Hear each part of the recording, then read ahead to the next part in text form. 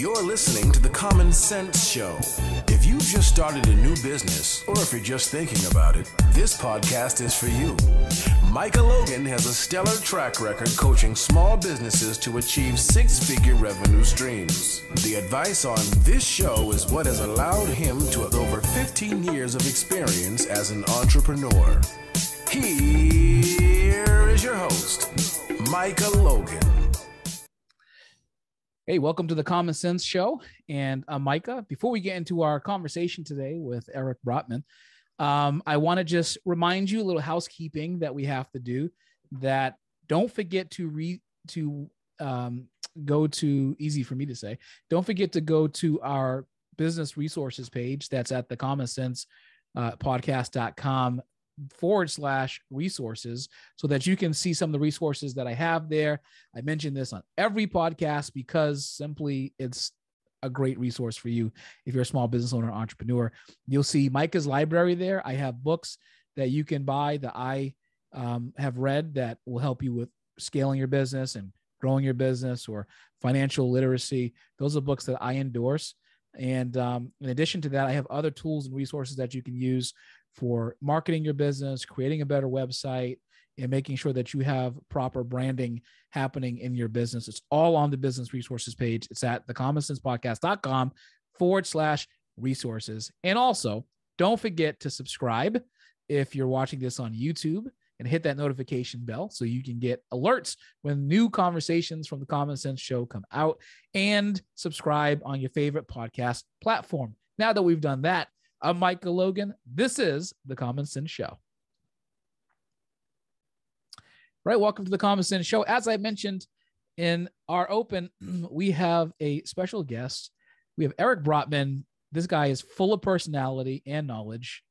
Personality and knowledge. Personality first. That's the order we're going to do this. Okay. He's a Personality and knowledge. he's the kind of guy that people say, you know what, you're a character, and he would be a character.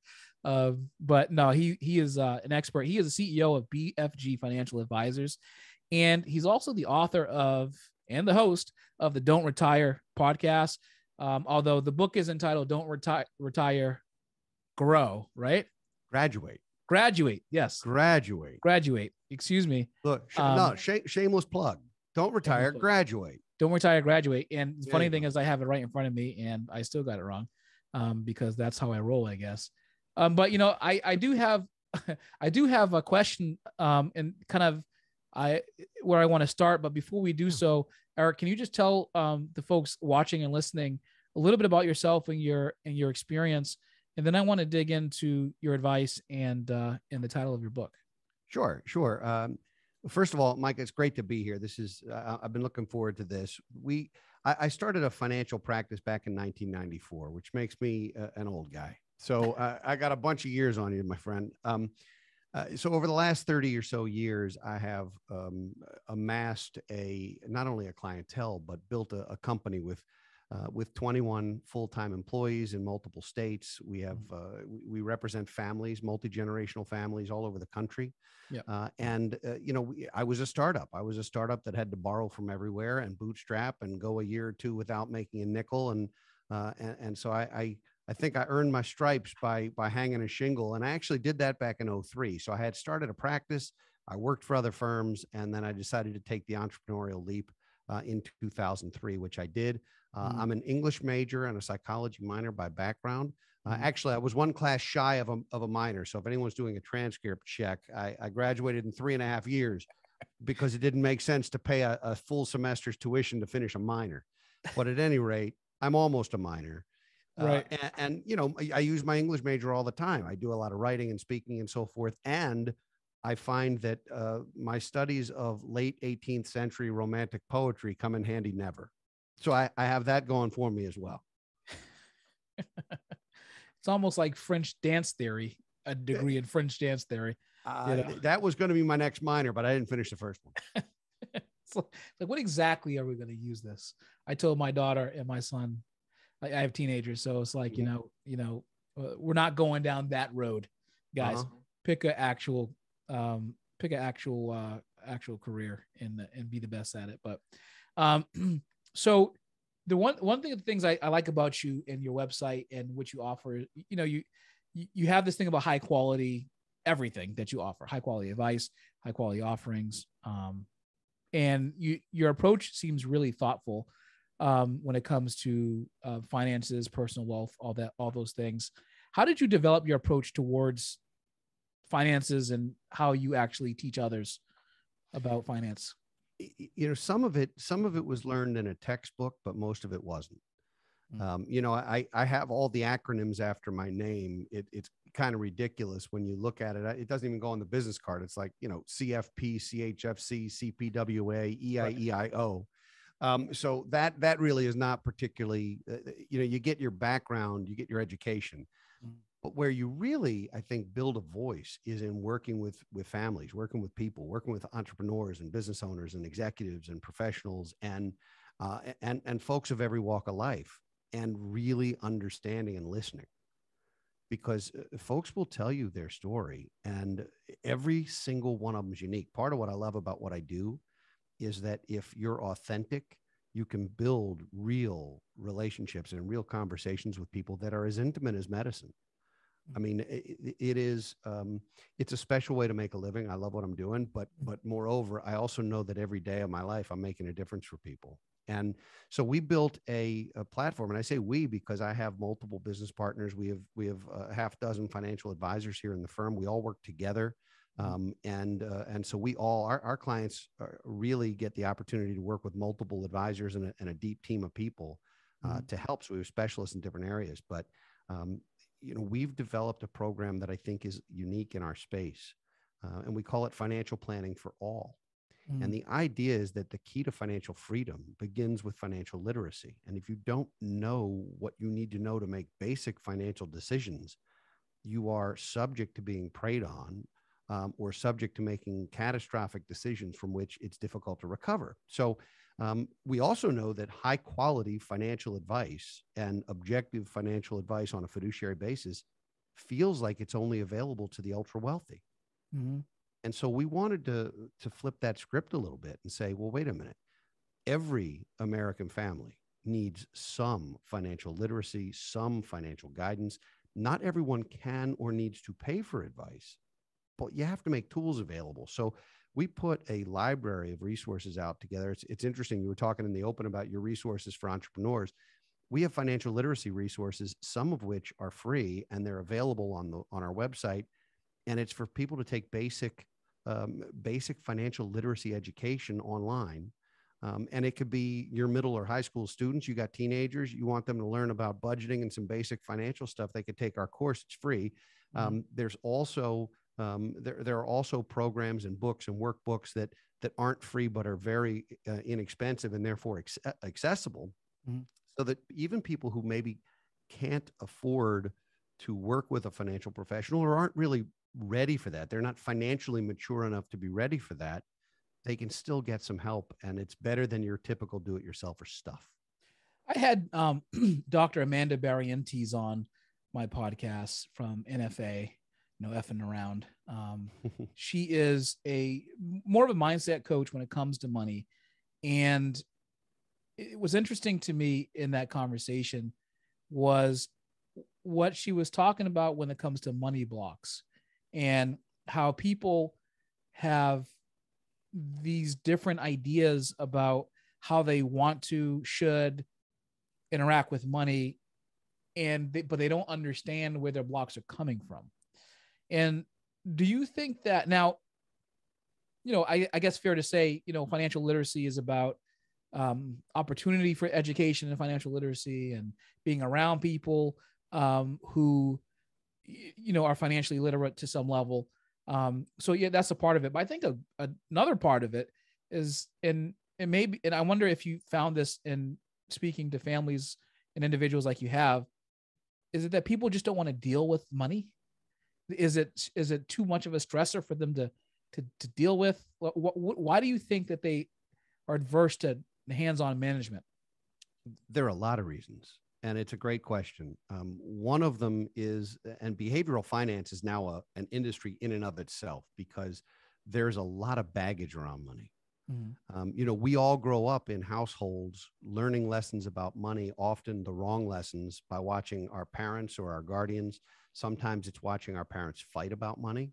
I Mhm. mean, the things that married couples fight about are money and kids. Yeah. Um, and so if you grow up watching your your family either struggle financially or watching them pinch every penny and not live their lives because they're hoarding, or you have one parent who wants to spend and one parent who wants to save, and there's this constant yin yang, you know, uh, issue there. Mhm. But we grow up learning mostly bad habits from our parents. We learn nothing in school, basically right. and then we marry somebody or have a relationship with somebody who also learned bad lessons and they're different bad lessons from his or her own family and what you wind up is this hodgepodge of bad ideas yeah. occasionally there's some good ones i'm, I'm not suggesting that everybody learns bad habits but a lot of times you have to learn by by doing and most young people don't have an opportunity to do that. So um, i think there's baggage there. There's also incredible amounts of shame. Hmm people who are by any rational definition wealthy Yeah. some of them feel poor. They think they're going to run out of money. They're they don't have an abundance mindset. They're afraid of the scarcity. Um, some people who are by all means wealthy people are embarrassed by that wealth and don't want anyone to know about it so they don't want to talk about it That's an Um, interesting. Now that's an interesting paradox, isn't it? oh yeah And oh, and, oh yeah. and that's not something talked like talked about nearly as much as it probably should. The the amount of people who actually are wealthy who are actually ashamed to be wealthy or or feel like an outcast in society because of their wealth. That's a weird paradox. well and and there's a reason why a lot of lottery winners stay anonymous Mm-hmm. Because when you are um, when you reach a certain level of wealth particularly if it's sudden wealth right? Mhm, not i mean if if you've earned it over a 30 year career or business ownership you're going to treat it differently than if it falls in your lap by inheritance or lottery or something like that but Absolutely. but for people with sudden wealth first of all they're rarely in a position to know how to handle that. Mm. and bad decisions happen quickly but they also are ripe for what i'll refer to as predators and creditors Mhm. and so what happens is uh, it it damages your relationships with friends if you feel like they always have their hand out or somebody's coming to tell you michael you know i i, I don't have a washer and dryer. I can't do the laundry. I need some help. And now suddenly because you're in that situation like am i supposed to go buy you a washer and dryer now because i can? Is that the right is that how our relationship works now? And if so is that why you're friends with me? And there's all of this stuff. Um, a lot of people don't want their kids to know that they're wealthy people and they try to hide that a little bit because they don't want their kids to grow up without a work ethic you know young people who grow up knowing i'm inheriting something from mom and dad are much more likely to have what I, I like to call Billy Madison syndrome. If you remember the Adam Sandler movie, Yeah. um, oh but, yeah. it, but it, but it, it, it's, they don't feel the need to be industrious because they know it's going to fall in their lap. Or I don't really need to plan for that because eventually it's just going to be here. Right. And so people don't want to ruin their kids that way. Um, at the same time, there are other parents who don't want to discuss money with their kids because they're embarrassed that they haven't made more. Mm-hmm. And some of those people truly are struggling and are afraid to be a burden to their kids. Others are financially well off and still don't feel like they've amassed what they could. Like it was some scoreboard and they didn't put up enough points. Mm-hmm. And it, it's it's amazing how much of my role and how much of our job is behavioral and psychological and qualitative versus quantitative. This is not a math problem. And that's one reason why, you know, the robo advisors and such d- don't strike me as a threat because a computer can build a portfolio for you, can do an analysis for you, can show you an income stream, it can do, but it doesn't know what it's like to lose a parent or to have a loved one ill or to or to be unemployed for a period of time or Right. to go through the things that human beings go through. There's Mhm. no empathy, there's no accountability. It's just gamified. Yeah. And I think people really need to talk. I'm not a therapist. I'm not licensed to be a therapist. I don't even pretend to be a therapist. And I certainly can't throw stones from my own glass house. Right. But what we can do is we can listen, we can empathize, and we can strategize together and try and come up with the best way to handle these things. And that might mean communicating with loved ones. It might mean, you know, if you came to me and said, I'm concerned because my parents are getting older and I don't know how well taken care of they are, but I don't want to ask them about money because I don't want to make them uncomfortable or make them feel like I'm counting on an inheritance. There's so many reasons. Well, we can facilitate family summits and facilitate a conversation that is much more qualitative than quantitative. Mhm. So that I can say Mike is concerned that he, he wants to know who who you've named as responsible parties and who's going to be responsible for things if you're in the hospital and who's going to talk to a doctor and where things are. Not how much money do you have, mom and dad. You know, I was a, I was a guest on a podcast um, yesterday, and one of the things that the the host asked me, um, so I own a um, a local um, fitness uh, business, and I am also a franchisor. I franchised that concept um, less than twelve months ago. We're in Oh. we're emerging franchisor, um, and so he was asking me about that, but he was also asking me about um about the economy and about how I believed it worked. And, you know, I told him what nobody, well, you, you hear, so you hear the consumer confidence index come up, Mhm, mhm. but not as, not nearly as much as it probably should. And he's like, well, what do you think the economy is based on? I said, it's all about confidence. It's a, you know, it's a soft system, really. There are, there are hard, um, there are hard and mathematical and economic reasons specifically for how the engine of an economy works. Um, but there are the majority of, of this is really how people feel about how the economy works and where they are and what they have in their pocket and what they should spend. And you, if you zap a person's confidence, um, then you change, you know, their confidence and the ability for them to feel either protected, um, you know, spending money, you know, saving it in a mattress versus investing it. Um, and you know, for people who think um a quack, the reality is is that when investors don't feel confident, they don't invest. It's very simple. when they feel confident, they invest. You know, and um, you know, so so this aspect of like almost emotional intelligence when it comes to money is very interesting because it's tied to so many aspects of life. If you're deeply religious, you may have heard that money was a sort of all evil. Mm-hmm. Mm-hmm. And that kind of lesson doesn't necessarily just up and vanish. Well, or you might be tithing. You know, Right. there there are folks who who uh, religiously, literally, uh, give ten percent of their earned income to Mhm. their to their religious organization every year, and feel like that's their duty and and that's their responsibility. And Right. sometimes that's a hardship for them, but they often believe that that is the source of uh, eventual true abundance.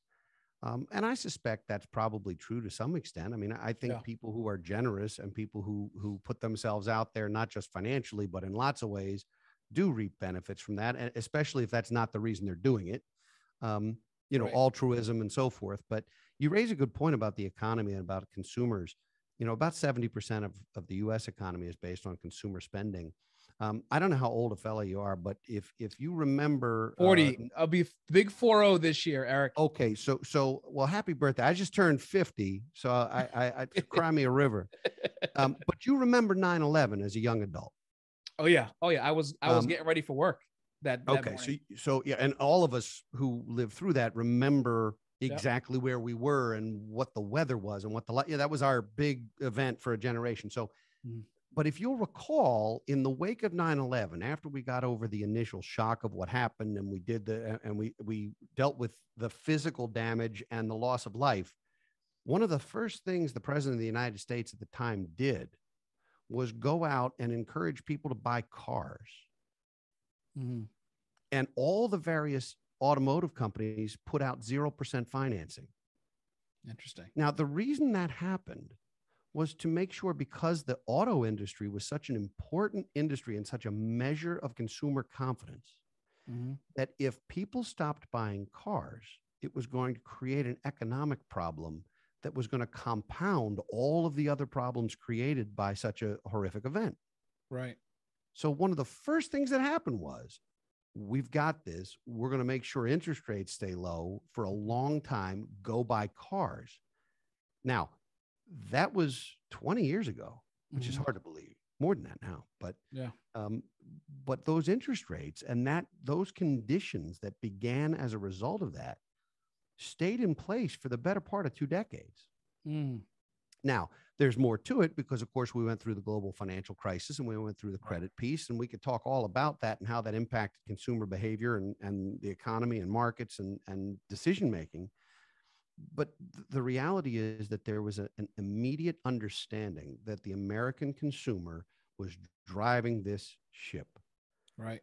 And th- the same thing is true when there are stimulus packages more in more, you know, more recent times where there's a significant loss of jobs and there's a need for there's a need or a perceived need to put uh, cash in people's pockets which happened repeatedly not just with consumers and families but also with small businesses that were kept operational and encouraged to keep employees on the payroll because the system i i- it's fragile enough Mm-hmm. that a jolt like a pandemic which is no small thing could really clobber some industries Right. and so yeah. it cons- consumers had to spend and if they don't spend it's a problem so cheap money has made that really easy well if you've bought groceries or a gallon of gas lately you know that things aren't feeling cheap right now No, you're about seven percent lighter in the wallet. as of just just from december of, of 21 Yeah. and I, I don't know how this is going to play out my crystal ball is fantastic but it's broken and i can't get parts for it so i, I can't tell you what's coming It's What held up in can- the port of Hong Kong at the yeah, moment. probably oh man yeah along with my, along with the oven i can't get an oven Yeah. I, Exactly. we haven't been able to cook for three months. I'm losing weight, which I guess is good. Anyway, um, the, the the the fact is that um, we don't know what's coming. But if inflation really does take hold, and if the Fed starts raising interest rates, it's going to impact a lot of industries in a lot of ways. Mhm. Biggest one, I think, being housing.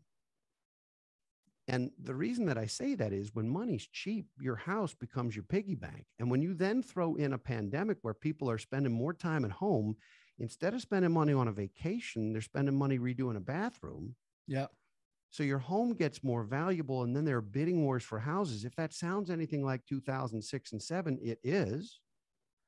The difference is that in 2006 and seven, credit was entirely too easy to come by Right. people who couldn't qualify for a discover card were getting 100% financing for new homes and there are lots of reasons for that and that uh, and that that waxes on the political which i'll avoid but at the end of the day there were lots of reasons why that happened and that's not being repeated now Right. But housing prices can't continue to do what they're doing and if if people have borrowed money because it's been cheap against their homes and then prices drop again i'm not suggesting we're going to see a, a financial crisis i am suggesting there will be a lot less buying and selling of real estate a personal Okay. i'm not talking commercial but personal real estate and if that occurs that's going to affect a lot of industries too because that's the biggest purchase we make in our lives generally you know it's it's funny um and you're right about that.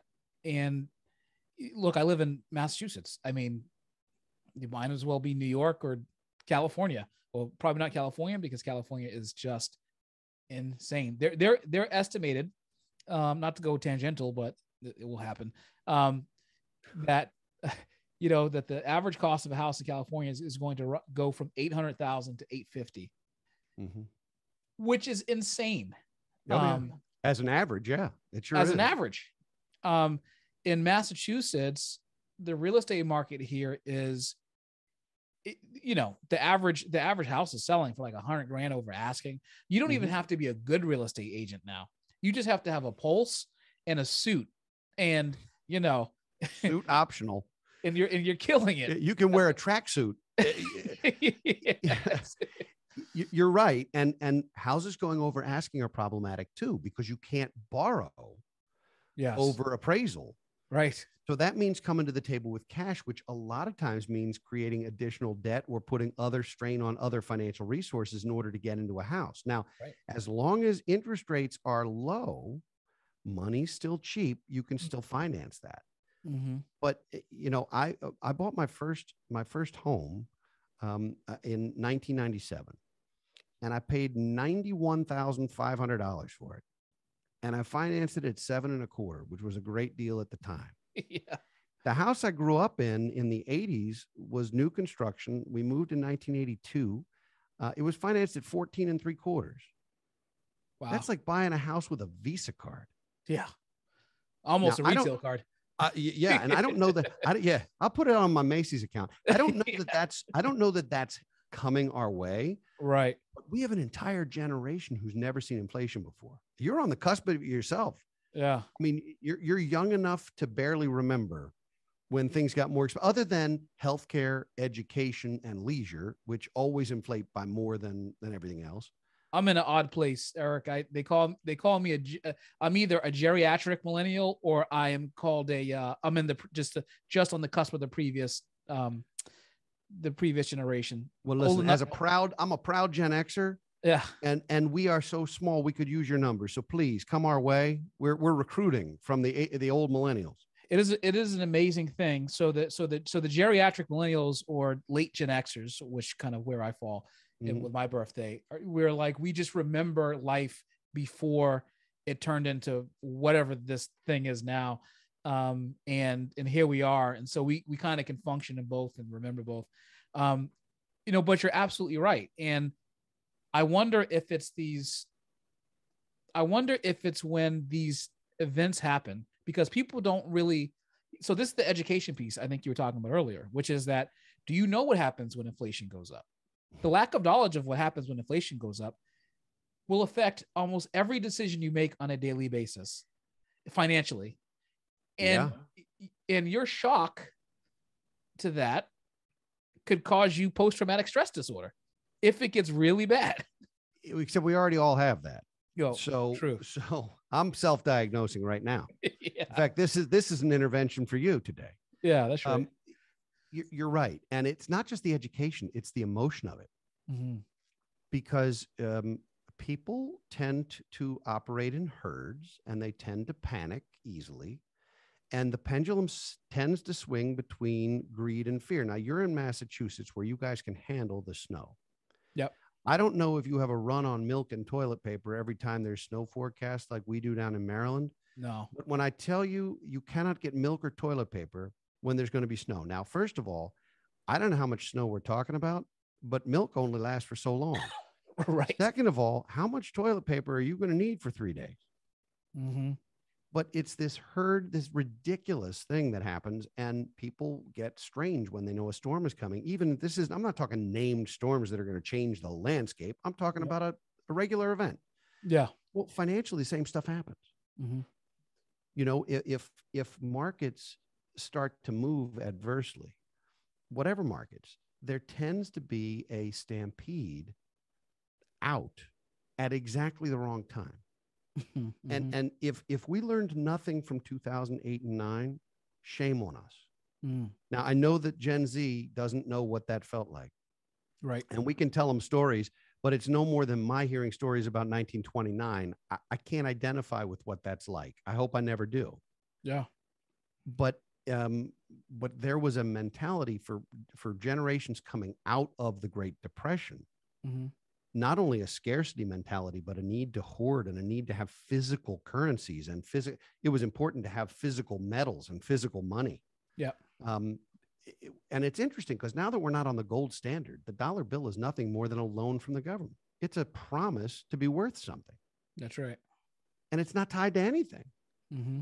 So my dollar bill is only worth a dollar if you're willing to accept it for what you consider to be a dollar's worth of services. That's right. It's well, Bitcoin. It's Bitcoin.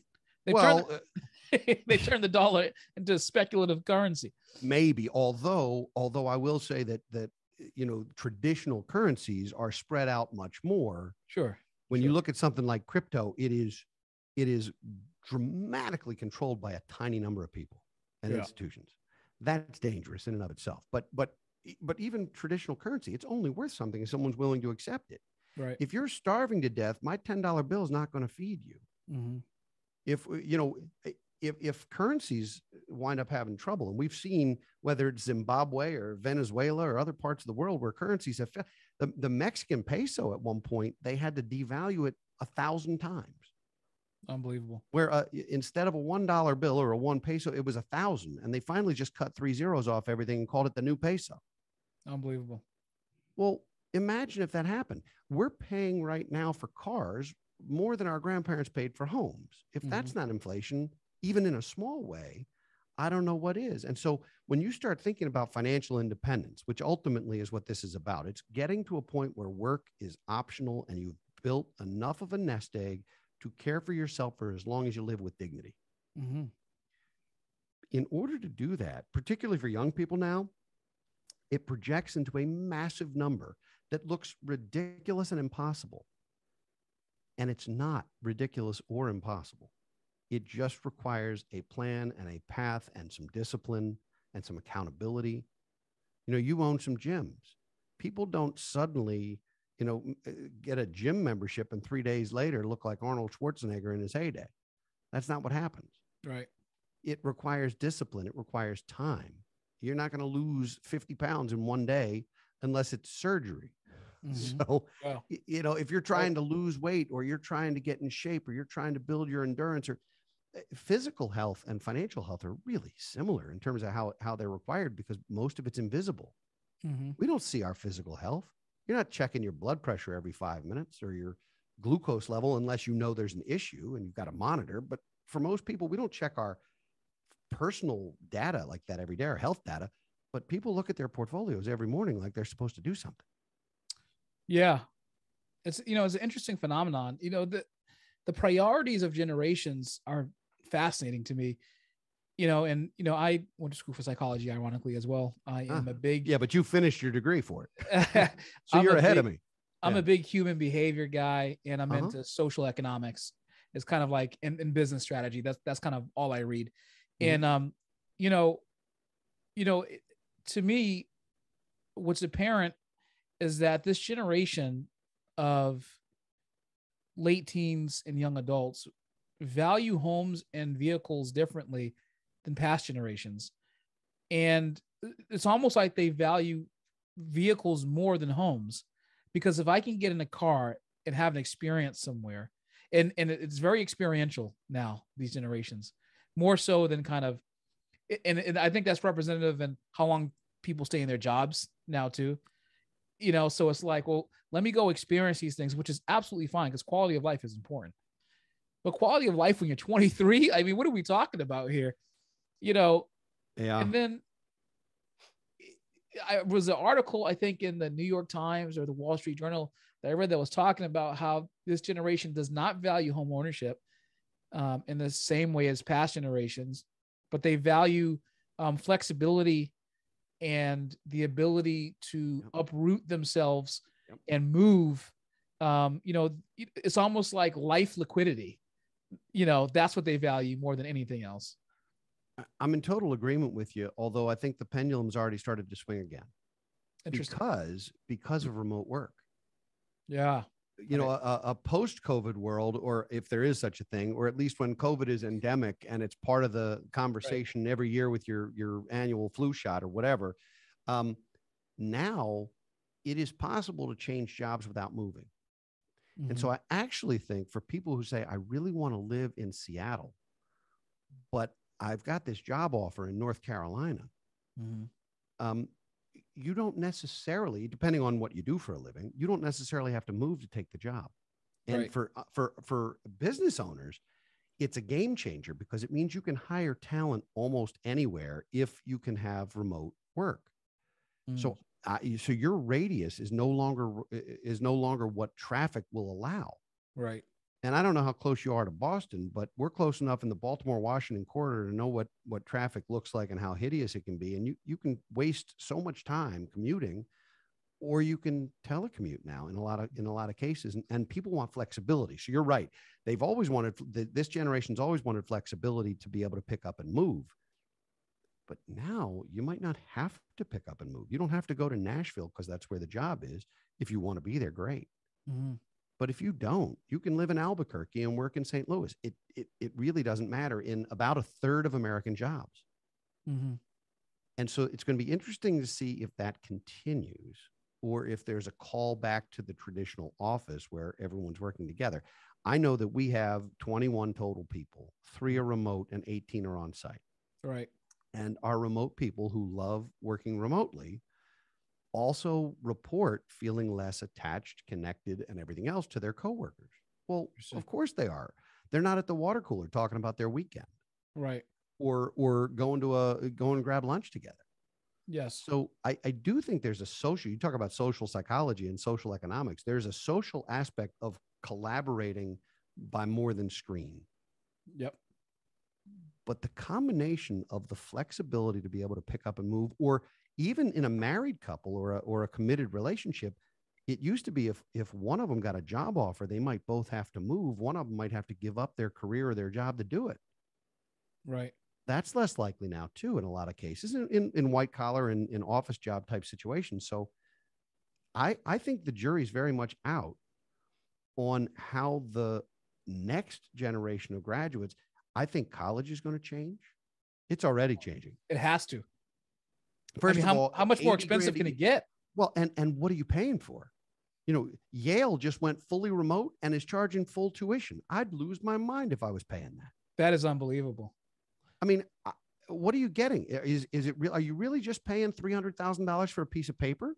Mhm. Because you're no longer getting that experience. You're not collaborating. You're not building your network. You know, I was watching a documentary or a, maybe a, just a clip or something. It was on Peter Thiel. He he created this foundation where he if we're like if if, if a kid is graduating high school and they have an idea for a business and they want to be an entrepreneur, they can like apply and they can be a part of this academy, uh, entrepreneur academy, and he will give a hundred. He will give a hundred thousand dollars to help them build a business with skipping university. Mhm. And there there'll be a lot of people that listen to this who want to shoot guns and bazookas at me for saying that. But the reality is is that I think we know enough now to know that there are other options out there.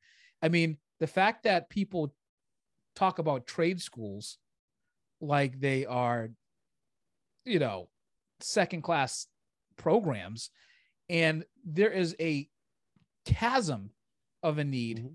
for tradespeople in this country, and there's a chasm of a need for trades entrepreneurs.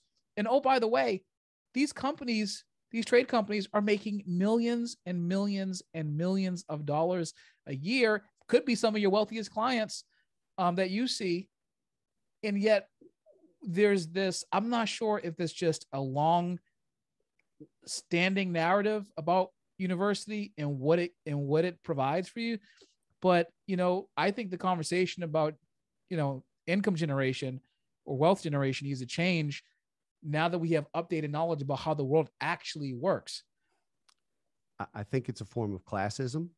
Mm, I, I think it's a form of egoism. Um, you know, you show me a kid who's making eighty or hundred thousand dollars a year doing something creative, um, uh, whether it's entrepreneurship or whether it's a trade or what have you. Um, a- and I'll take that person next to the one who got the the art history degree and is three hundred grand in debt. You know, who's got the brighter future? I, I don't know for sure. And there's certainly some there's some industries that require certain types of education. But Mike, Sure. I think I think education is now let's let's focus on it as a lifetime journey of learning and growing, not this four year window. Why is it four years?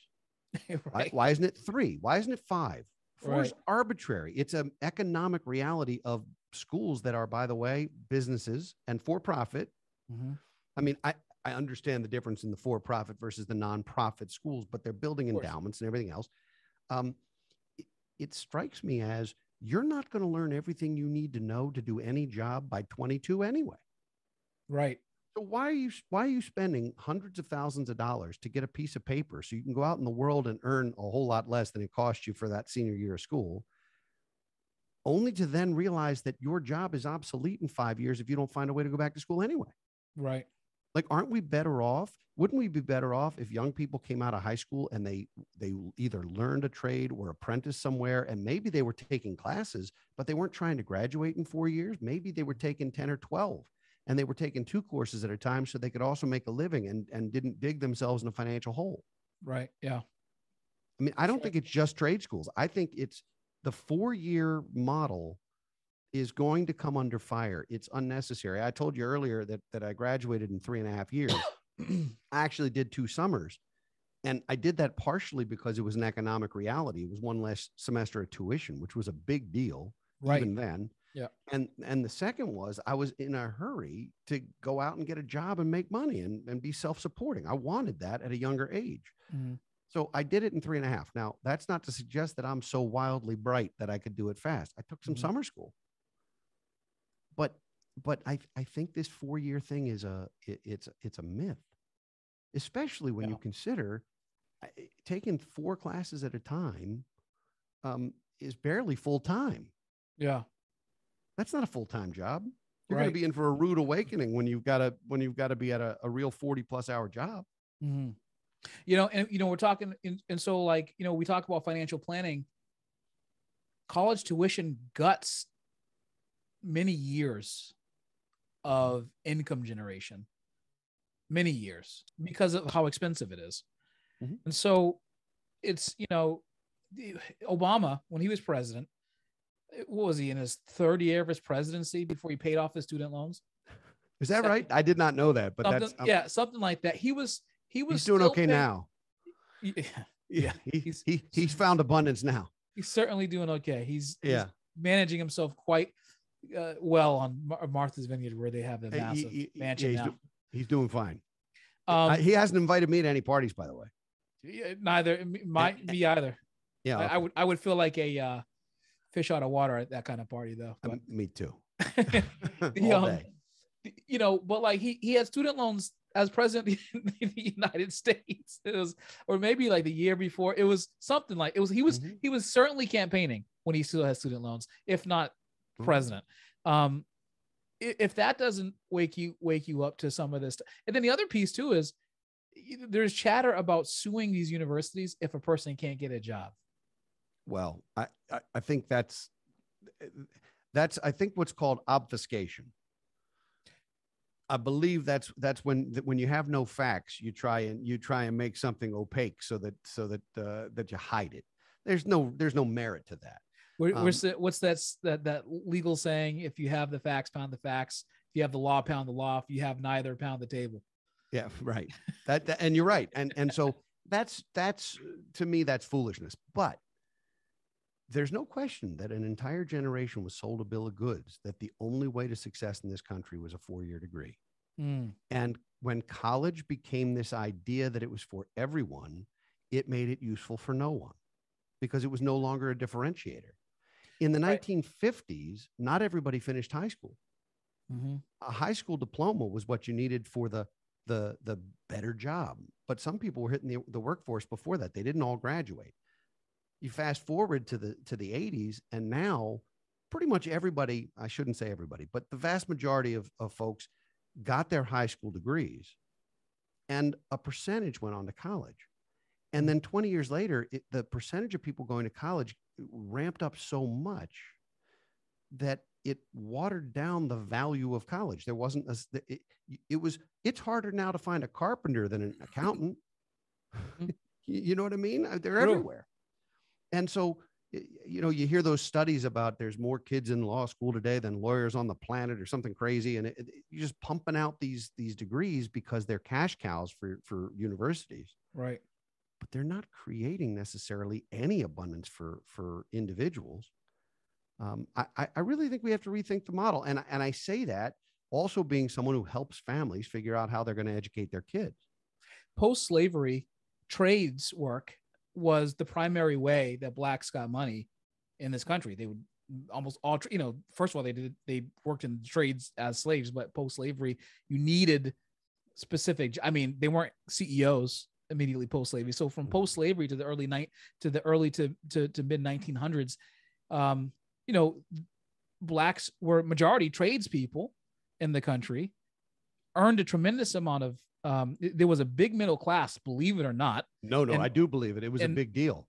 in the black community um, prior Correct. to the 1960s uh, war on poverty and um, you know i say that to say that you know yes redlining happened and a lot of the stuff that eventually became outlawed in the us but blacks still bought homes because they had a large middle class in fact there was an article on how african americans saved gm um, in cadillac um, I'm I'm not surprised. It- the the the black middle class historically, at least not just during my lifetime, but even before my lifetime, was one of the most stable middle classes in America. yes we right now don't have much of a middle class i- i- uh, of any race or any background. This That's right. country's this country is quickly becoming a small number of haves and a huge number of have-nots. Mhm. And I'm no student of history, but if I'm not mistaken, that's how you wind up with guillotines in the street and pitchforks and everything else. Like that never ends well. You're right. It, it reminds me of uh, the Gini coefficient, which is uh, one of the ways that they measure. Um, basically, when there's people of differing incomes in neighboring towns, the Gini coefficient measures that difference in areas with like the higher, um, with higher disparities in neighboring towns tend to have more crime near the Mm. border because these people are coexisting in the same space and people get to see kind of what they have and what they don't have and so like you get like this and so the people that get hurt are the people in the middle in between that have more than the people in the neighboring town but less than the people on the other side but it still seems like a disparity um, well it is a disparity but it's a, an observed disparity because of how close they are geographically and so that raises crime and i, I find that that's you know it's just an interesting thought to think about how there's so many public schools closed across the country so many Mhm. buildings are sitting there that could be trade schools. You know, I you know I've thought about this high school experience. You Mhm. talk about financial literacy. Why why is there four why is there even four years of straight classroom work in high school?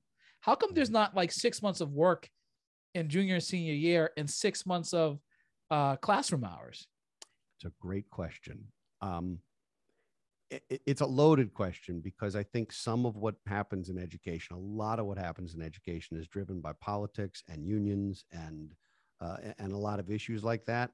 Um, I want to come back to this sort of middle class thing, if if we can, Sure. because it's it's I think it's fundamentally important to to look at the last seventy years in this country, and to look at in the fifties what what a household, what a family of four needed to live well Mhm, was one full time employee, one parent working full time, mhm. one parent, and in the 50s, it was almost always the mom, but nonetheless, it was one parent working, one parent taking care of kids and making sure that they're in good. And it was a very, um, you know, it was leave it to Beaver, father knows best kind of Yeah, sure. kind of day. Yep.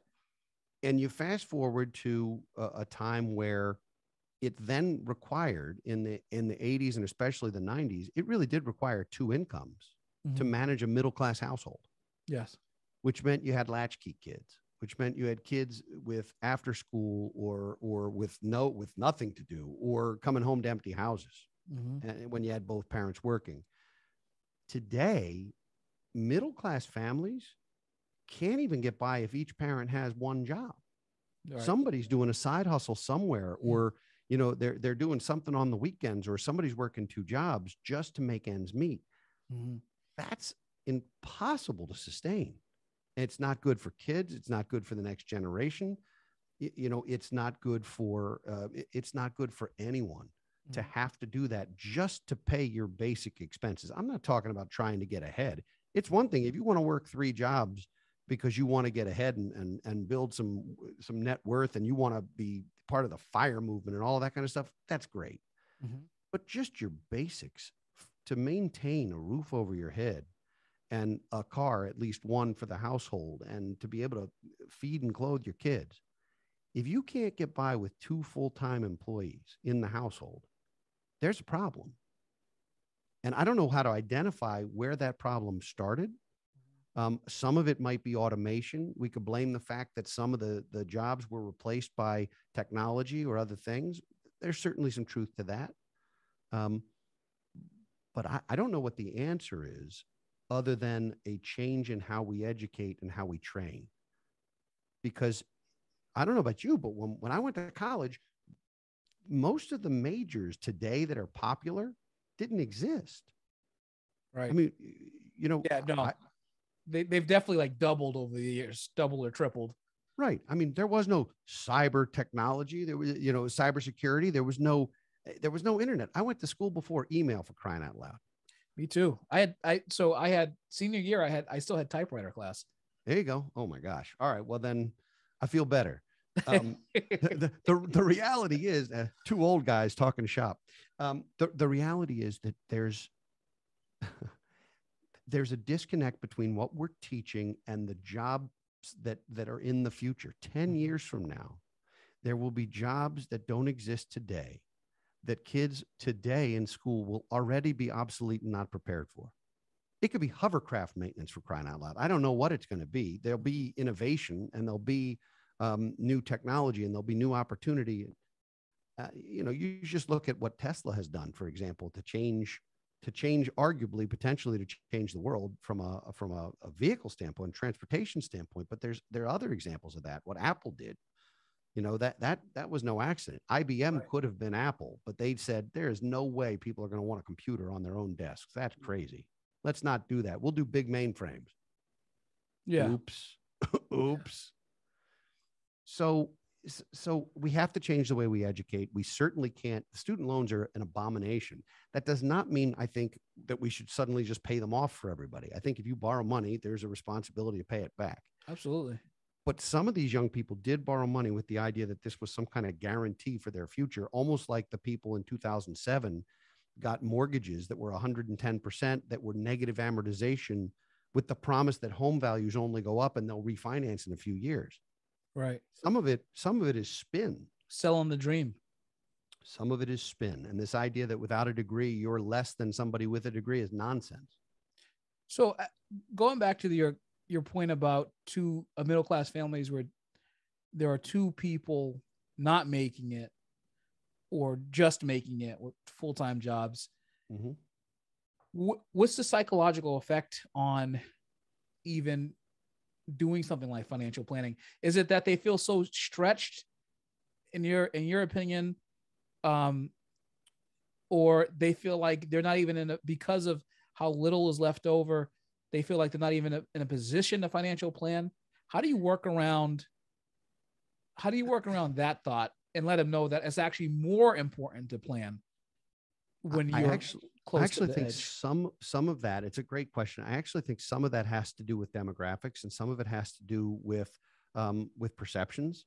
Mm-hmm. Because um, you know we we have uh, a, a young up and coming financial advisor in our firm, African American, uh, who who I met because he was a keynote speaker at his university at a, a scholarship event, right and we have a scholarship at that university and so we were there to to to meet some of these young people and he told me, and I thought it was interesting that he would try and he was a, a, a captain on the football team, great, great young guy.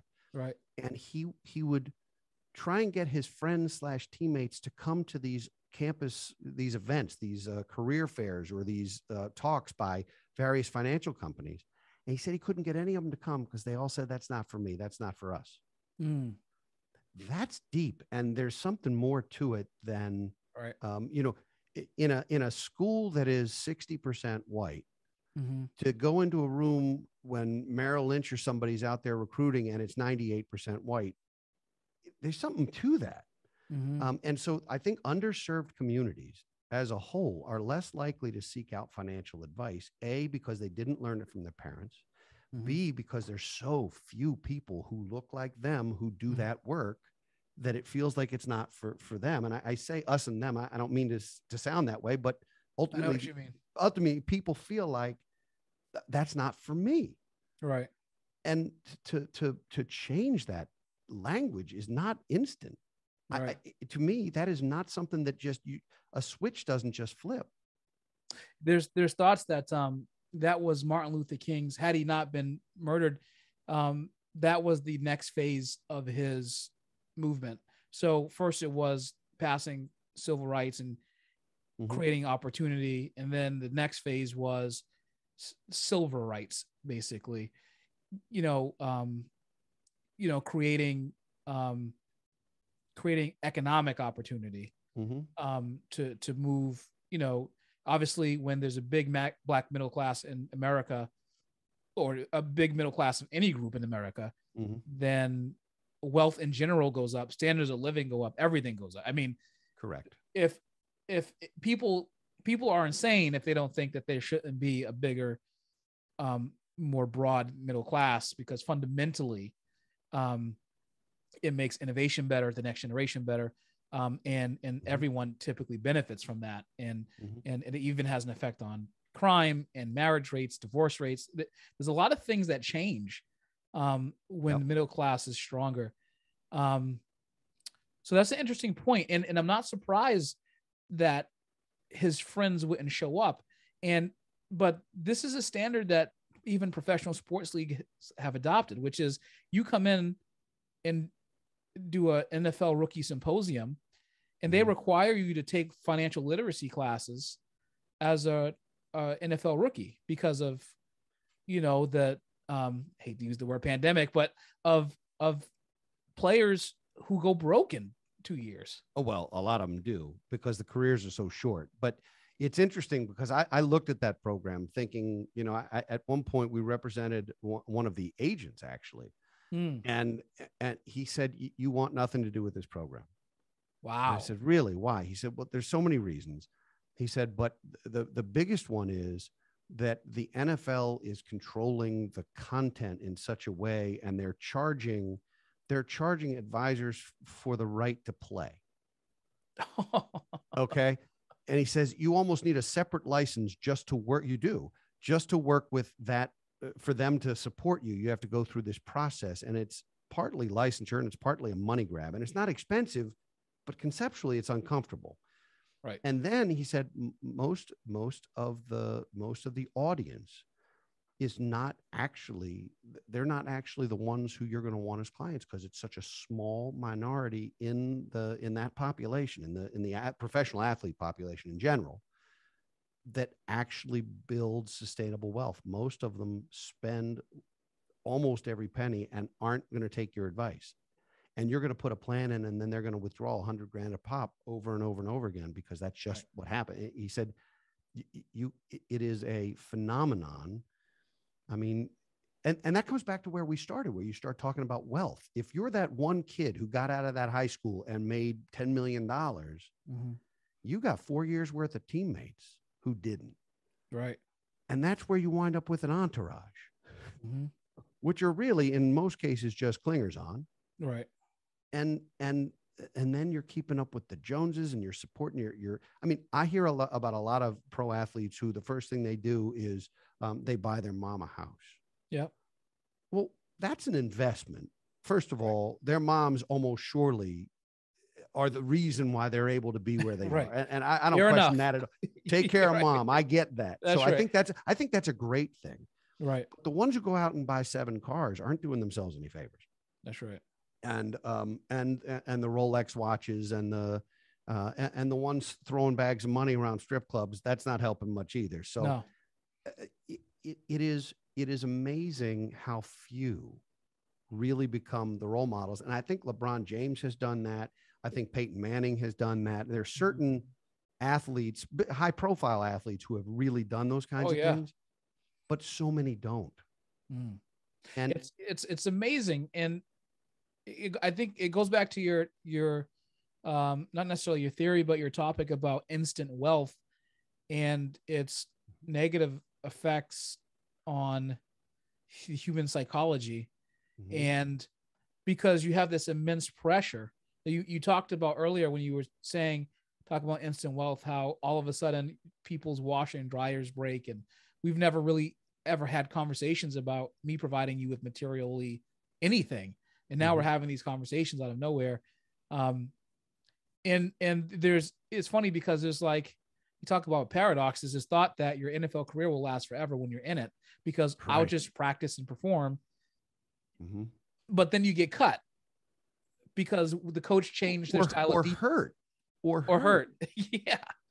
you know there's the the vast majority of pro athletes don't make obscene money Mhm. I think baseball is an exception where some of these guys make, uh, uh, but even then, to make the majors, you have to be a tiny percent of a tiny percent of a tiny percent. That's right. One percent of one percent of one percent. Yes. Yeah. So, th- but that's no different than entertainers. Right. You know, the the big name entertainers are making a fortune. Most people are playing street corners or small bars yeah. and and and working for tips.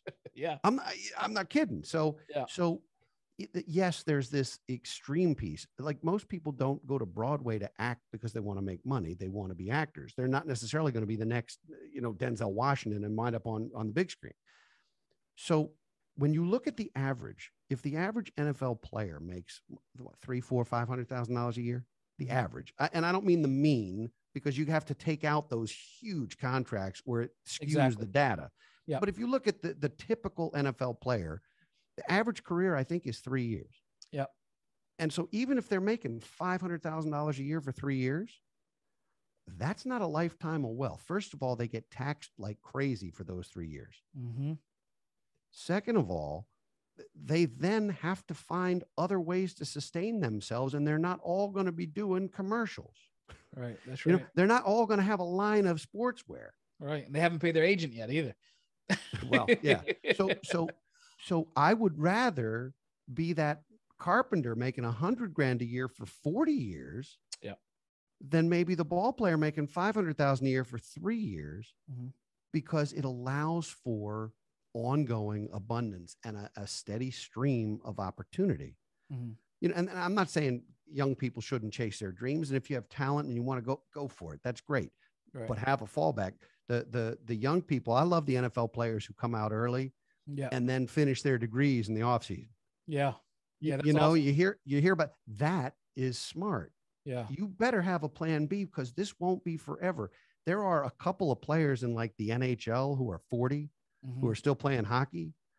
Most of them don't. And and in hockey, it's different than than some of the other sports, especially football, where football you actually have to have um, you have to at least have your high school diploma and you have to play college ball. And I think in the NBA, don't you have to do a year or two of college before you're allowed to be drafted? You do now. Yeah. You have to be 18 plus one year co- school. Okay, so so hockey players get drafted at 16, some of them, and play major juniors. A lot of them don't finish high school. There Wow, is no backup plan. Mm. you know, and they're going to get their bell rung too. And they're going to realize that the very small number make big money and they're on magazine covers. And most of them, most of them wind up with a limp and a bill to pay. Right. That's funny. I want to address two groups.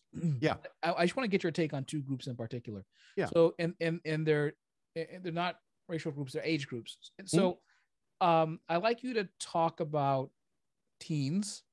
Mhm. Like I have teenage, and so one of the things I do is so Fidelity has this wonderful program now where they they're allowing you know teenage investors, right? They have this Mhm, kids mhm. program.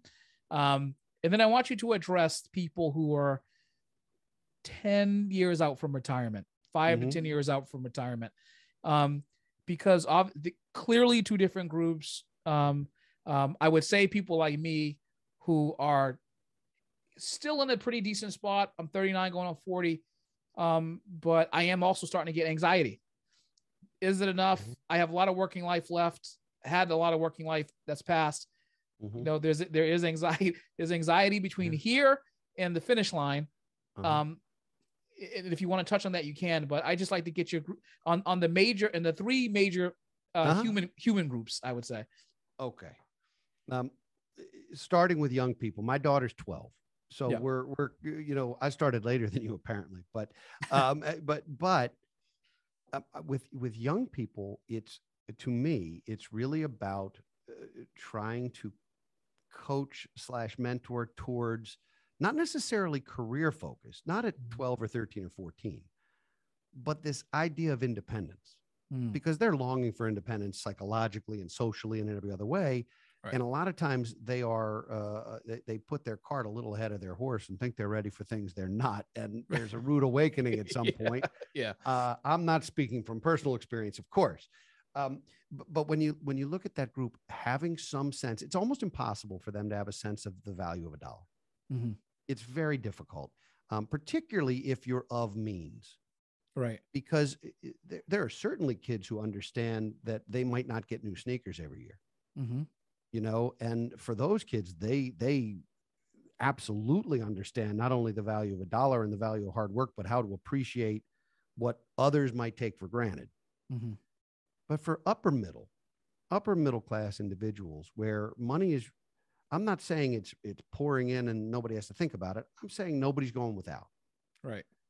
And in those situations, it's very tough when a kid has never really heard no. Hmm um, to then wake up one day and hear no. And and they're not hearing no anywhere. They're not hearing it in school. They're not hearing it on the playing field. They're not hearing it in their religious organizations. Right. They're they're the customer. They're always right. And my Mhm. gosh, they're all special and perfect, and they're all winners. Everybody got a trophy. Everybody. And uh, the last place trophy. I mean, if it's if it's all about finishing, I, I like that. But at some point, you got to know how to win, and you got to know how to lose, and you have to know how to fail. Mhm. The best path to success is having a couple of failures and dusting yourself off. If everything comes naturally to you, what are you going to do when you're suddenly 35 and you run into something you can't handle? Mm. You got to know small age appropriate adversities in order to deal with bigger age appropriate adversities. And if you've been completely insulated from the world and from real life, financially or otherwise, you're unprepared. It's kind of like if you live in a bubble because you're afraid of the small germ, Mhm. when you run into a big germ, you're done for. Right. All right. Not that I want to talk about germs, but um, th- let- let's shift gears to the folks who are who are older because um, oh, and and before I move on, the teenagers have to be involved in the decision making around college and the financial impact of it. Most of them uh, assume that ah, this will be I'll have my whole life to pay this back. Being coached out of large, unfortunate student loans is a big deal, and parents need to be on it because schools don't have the ability to do that, and the Yeah. colleges are selling. Yeah, that's right. Wait do you see our cafeteria. We have the best pizza in the county. Mhm. Great.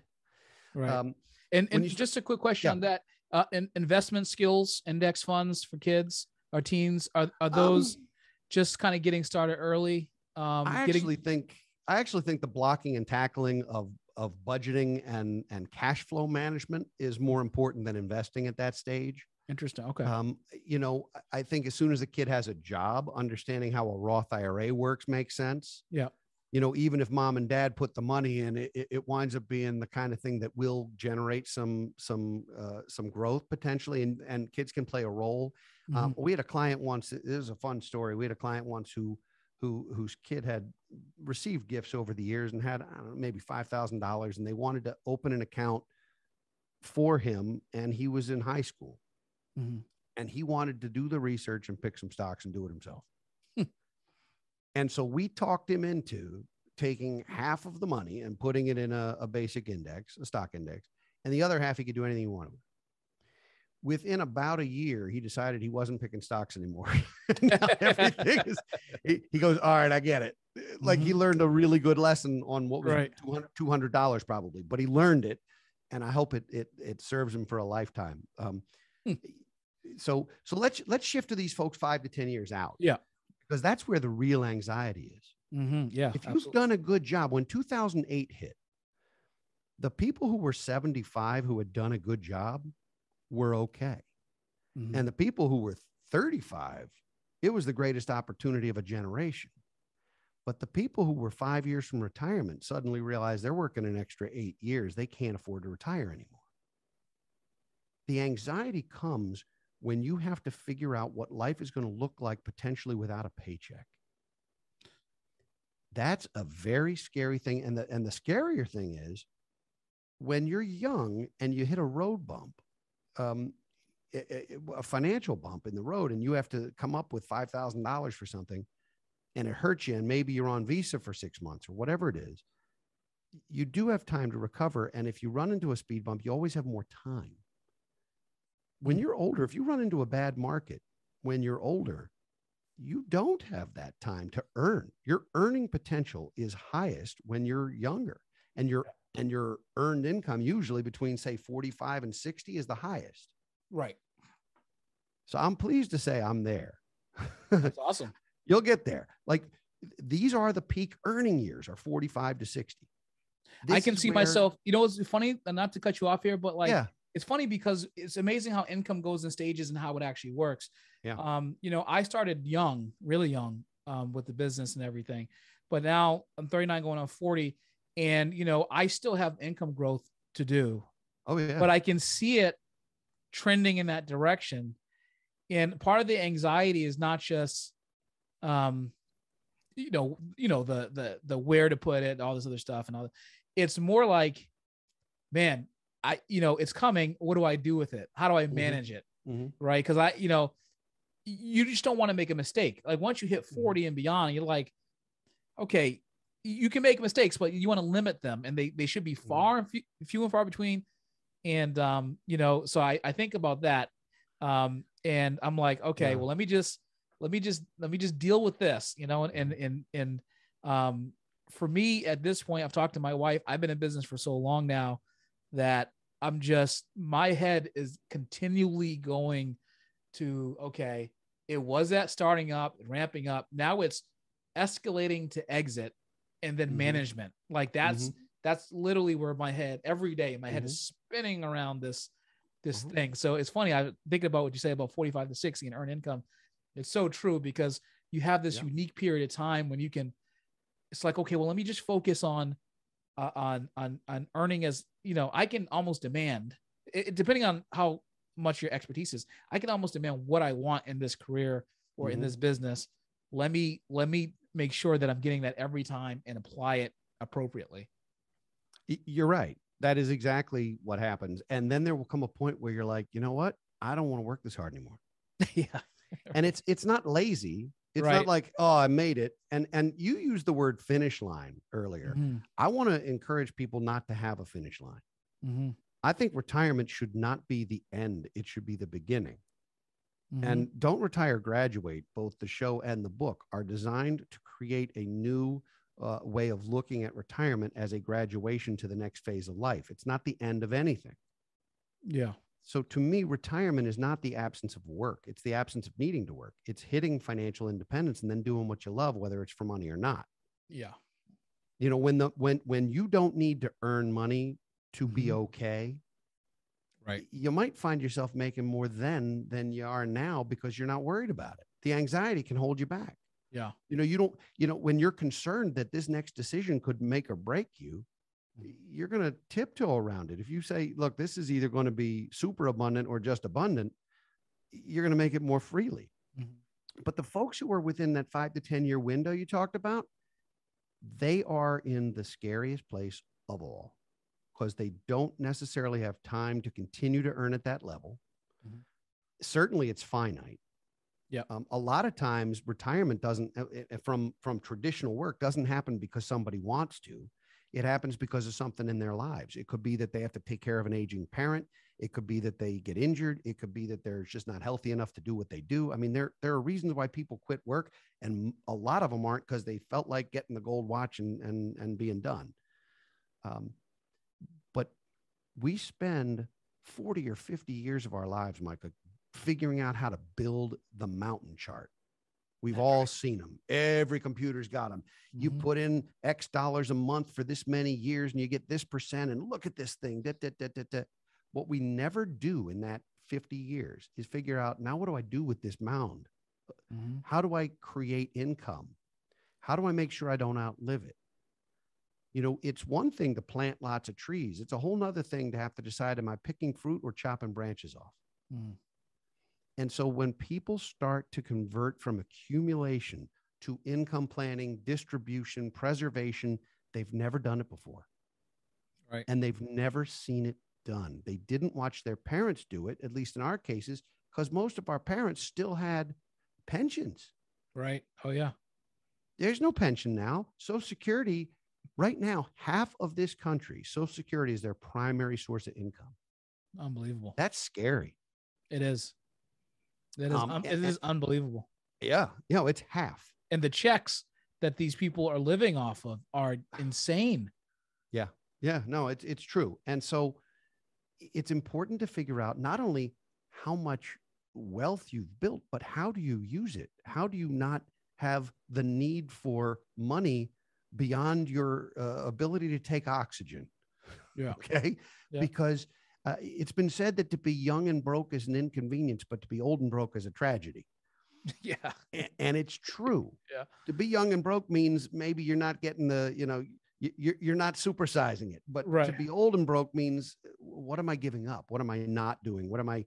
So those folks have to get, in my opinion, have to get professional advice. Mhm. They have to have tax advice Mhm. because a dollar is not always a dollar. A dollar in your IRA is not the same as a dollar in your piggy bank That's right. because the dollar in your IRA hasn't been taxed yet. It has a mortgage on it known as federal and potentially state income tax. Mhm. And I don't know about you, but where tax rates are today, when you consider the national debt, you consider the the various uh, programs, social programs, and you consider where we are as a country, tax rates aren't going to get any lower. Right. They might stay the same, Mhm. but I submit to you they're likely to be higher, which means most of us have a growing mortgage on our dollar, Right. not only in terms of what it's worth because of inflation, but Mhm. also because of the percentage that's going to go to the government because the government is literally broke. Yep. We're deficit spending nine out of every 10 years. Last time we had a surplus, I think, was under Clinton. Wow. I mean, it, Yeah. it- I, I, yeah. I think I heard that. Yeah, I think we're printing money to Yeah. pay bills, which is great, except that it makes every dollar worth less. that's right. That's right. So you could double the number of dollars in your wallet, but if each one's worth 50 cents, you haven't done anything. hmm Um, and so those are the folks that are really in trouble. Now, for for for those folks, they've got to get professional help, tax help, legal help, estate Mhm. planning, um, financial planning. Yep. You need someone to help them make what is potentially a series of the biggest decisions they'll ever make financially. What are the big decisions we make financially in life? The first one is where to go to get education and do we take student loans? hmm We're confronted with that before we're old enough to have a Budweiser. hmm Then your next big decision is usually, am I buying a house or not? And if so, what kind and how am I going to do it? Those are big financial decisions. Mhm. The when to stop my paycheck and how am I going to live without it decision is infinitely larger than those. hmm And in a lot of cases, there's no mulligan. If you're lucky enough Right. to have a pension, you're going to make that election on survivorship and decide how how to get it and when to start it, and you can't undo it. Right. Social Security no longer allows you to take mulligans. Basically, once you've decided, that ship sailed. You got to live with your decision for the rest of time. Yeah. So if you've got decisions you can't undo, you better make them right. And that's why those people need help more than anyone. And and the people who seek us out, um, the the families that come to us, most of them are sandwich generation families. They Mhm. are 45 to 60 or 40 to 60. They Mhm. got parents getting older they're worried about. Sometimes they're worried about them medically. Sometimes they're worried about having to pay bills for them. Mhm. They've got kids to educate and they got to figure out what they're willing to sacrifice to do that because it is a sacrifice at almost any wealth level. Mhm. And they're working 50 and 60 hours a week. They're busy in the grind, whether they're business owners or, or professionals or, or, uh, or whether they're tradespeople. They're Yeah. working uh, 60, 70 hours a week. They don't have time to deal with these kinds of decisions. And if they do have some free time, they don't want to be thinking about which index fund they're in, or do they have the right insurance, or do they have the right estate plan? They want somebody to handle it. Yeah. Just make sure I'm okay. It And boggles my mind how many people are not reasonable with the fact that their bills continue when their job stops. Like They don't get, they don't continue. They they grow. right. It, and you have to have car insurance to keep your car on the road. You have to have electricity to be warm and you know to in, in some cases to help out with your health. And you have to have a cell phone uh you know for emergencies now when you're out. It's like these these bills continue on, even though your mortgage is maybe gone and sat and, and settled. Uh maybe you There know people- you haven't are you haven't even gone on vacation. No, and there are people who lose their homes even though there's no mortgage on them because real estate taxes have gone up so much. There are people who can't afford to stay in their house because of the taxes, even though they own it free and clear. Mm-hmm. That- That's especially prevalent in like Chicago area, Yeah. where property taxes have gone so crazy in Illinois Right. that people who've who worked their whole lives and paid off their homes can't afford to stay in them. That's right. tragic. That's not okay. mm-hmm. That's just not okay. It's not. I mean, I, I you know, I, I, I understand the need for, well, tax people like to call it revenue.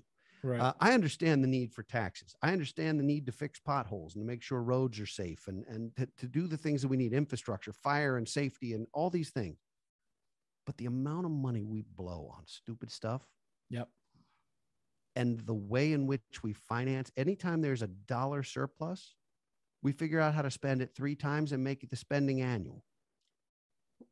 It's it's if the the thought that you think you can trust the government to balance the budget, thus driving tax base down over years, is insane. You should never trust the government. They're gonna balance this budget perfectly, and then all and then all of a sudden your property taxes are gonna go down because now we're so equally Mm. we're, we're so equal. It's it you know government is about favors and nepotism and trying to keep people in power and them trying to earn money and it's like that costs money and Uh-huh. they will spend money to the end where they can get reelected. And it's it is not about uh, frankly i don't even think this is a political point. I think this is a human point. Like it's just what happens when people are in charge of of things where there's no there's no real accountability. Uh, there's no real immediate accountability like getting fired. So you know um so this budget can just be completely blown out. Well, it's it's we could do a whole show just on that, and I think we should. But I, I want to do it later in the day so I can have a single malt while we're doing that show. Um, that's right when we start talking about gov- government couldn't run a bake sale efficiently. Look at the post office. Yeah. the post office is, is a monopoly. yeah The post office should be Printing money. most- talking about the printing money. most- the most secure. They're a monopoly. uh-huh. You look at the you look at Amtrak, which government largely took over and destroyed. Uh-huh. The government runs nothing well. Mhm. Nothing, nothing efficiently, nothing well. That doesn't mean there aren't some good people in government, right especially at the local and state level. yeah But but the fact that there's some good people, they run into this machine that just won't move, and it is all about power. You know, even Congress. Congress was designed to be a volunteer role where you would leave your family and your job and your business to go do public service and then go back to your family and your job and your business. Now, your only job is getting into office and staying in office, and most of it's fundraising, Mhm. and it's it's it's bastardized beyond repair. It I will really ne- I will never forget, and here in Massachusetts, there was one whole train line shut down for like a week and it derailed. And in the same week, a price increase was set to go up on the train. Hmm. And I was thinking, well, in any business, until they fix the problem, they hold off usually on a price increase. like most most businesses are not going to say, "Hey, look, uh, you know, our tiller. We have a landscape business. Our tiller machine is broken. We can't till your lawns, um, but but we're gonna also going up on the price um, until we can come back." Like I've never heard of anything like this before. Um, get used get used to it. Yeah, That's that's the that's the new paradigm. It is, Eric. I'm going to have you back on. Um, I got to end it now. We'll go three three and a half hours. Um, we'll go into into bur- my bourbon time. Um, yeah, no, it, it's almost it's it's beer o'clock somewhere. dub, double oaked uh, Woodford Reserve is, is kind of my favorite these days. If you're buying, I'm flying. well, you are close enough. Uh-huh. Um, where can uh, individuals who are small business owners, entrepreneurs, uh, listening to this podcast, um, reach out to you so that they can uh, perhaps engage you if they need the sort of advice and planning that we've spoke about today? Um, our, our resources are available at brotmanmedia.com, and that's the books and the podcasts and the courses. Um, the company is BFG Financial Advisors, and that's found at bfgfa.com. And we'd love to hear from you.